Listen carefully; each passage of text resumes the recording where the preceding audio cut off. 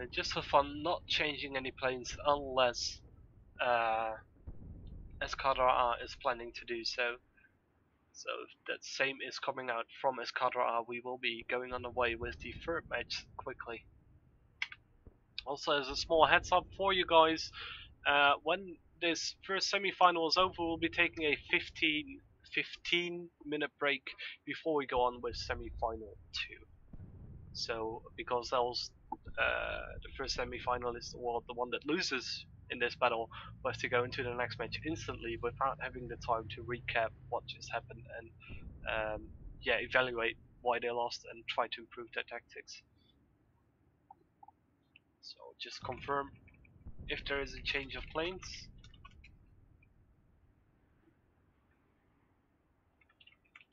And if the, they are ready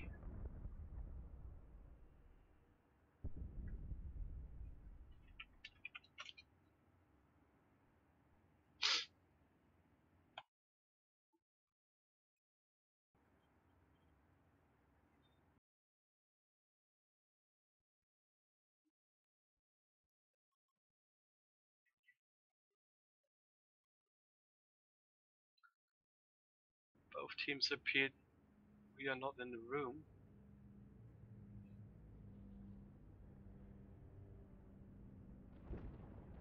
Ah, yes. Just saw the just for fun team 1, 2, 3, 4, 5, 6. 2, 3, 4, 5, 6.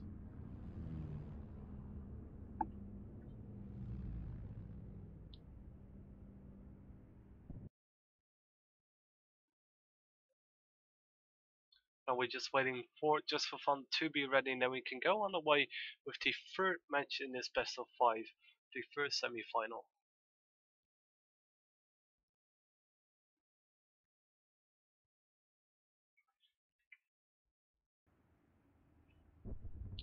Both teams are ready, then we will go underway with the third battle in more or less 10 seconds. So just for fun, for now leading with 2-0 once with a very well with a convincing air superiority win and once with a ground superiority win. Let's see what they will come up with for their third battle.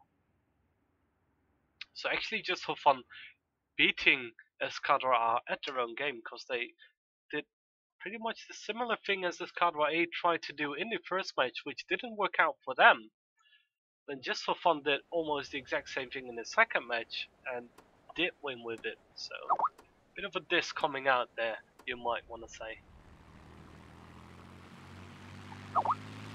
No change of planes yet again, so Eskadra has to come up with a new plan very, very quickly.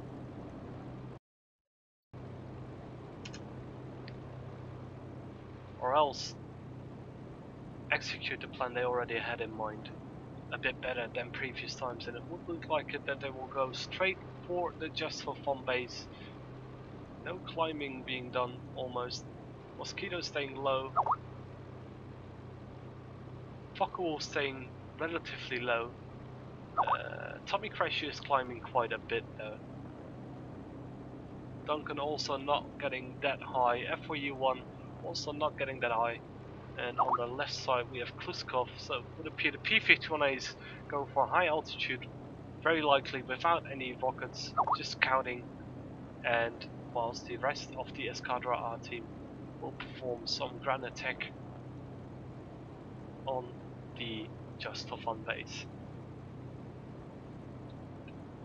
And no targets being destroyed by Just for Fun yet. Possibly they expect Eskadra to go to their base and try to intercept them. Jerry here is taking out the first warship, leaving it at 100 HP.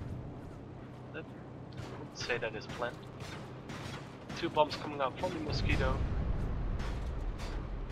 Headquarters taken out and the warship taken out.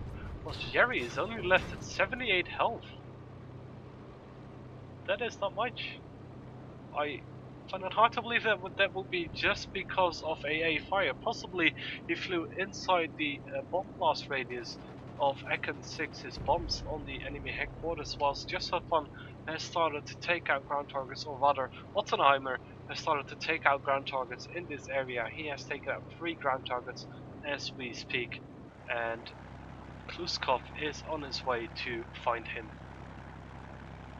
So for the moment, the Supremacy lead going for Eskadra A, but just for fun catching up quickly. And Kluskov now realizing with the amount of ground targets being taken out, quite a lot of enemy just for fun players in that area. So he's gonna wanna play it safe. If he gets spotted or if he gets engaged upon, he's gonna try to uh, to perform as a decoy for the rest of his team and lead the just for fun players to the rest of his team. So far, no spots going out. By the looks of it, Bonewish, Ottenheimer and Grolim are going attacking and Hans Krieger.